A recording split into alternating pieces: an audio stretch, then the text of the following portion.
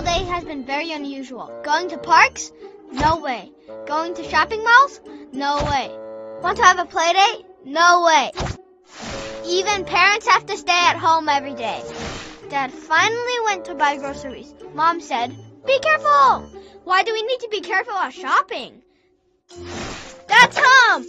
I ran to hug him as usual, but he avoided me nervously and said, Don't touch me! I was so sad. What's wrong with everyone? Later, I realized that Dad didn't mean to avoid me. Right now, everyone around me is avoiding a bad guy called coronavirus. This is a new type of virus. It looks like a crown, and corona is the Latin word for crown. Coronavirus was initially found in bats, and somehow it came to affect human beings. I doubt it came from Halloween, though. Once it enters people's lungs, it will start damaging our bodies. People will get fevers, cough, and sneeze, and get really sick. When people cough and sneeze, saliva droplets will be ejected from their mouths. The coronavirus rides on these droplets like rockets and quickly flies from one person's mouth to another person's body and finds its way to this person's lungs. Soon, this person will get sick too. The worst thing about the coronavirus is it will spread among people. Even if they didn't enter a person's body directly, the virus can be anywhere. On the shelf, at the playground, on a toy, even on the seemingly clean elevator buttons, the coronavirus could be dancing on them.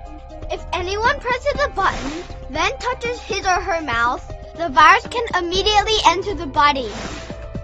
Hey, hey, hey, we just invaded a new territory. Hey, buddies, game time. This virus is very cunning, but I know how to avoid it. One of the tools is face masks.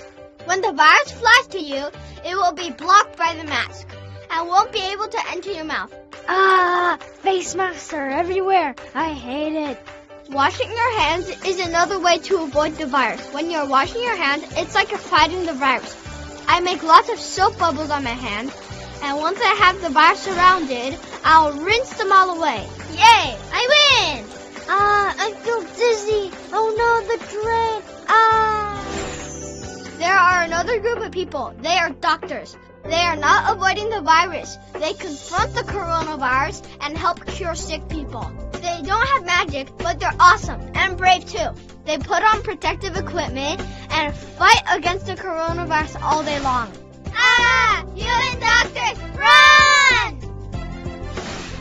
Every city is fighting against the virus. Construction workers even built a hospital in world record speed.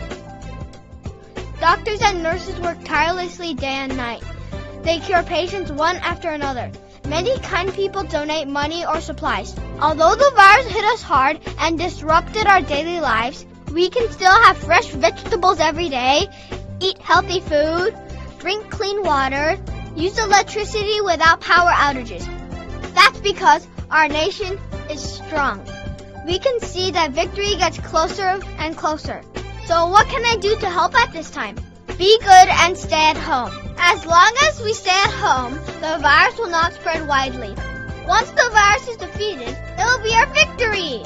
At this time, every one of us is the defender. Let's defeat the virus completely. Spring will come, flowers will bloom. Let's wait until then to happily meet our friends. Beat the virus and bring love and peace back again.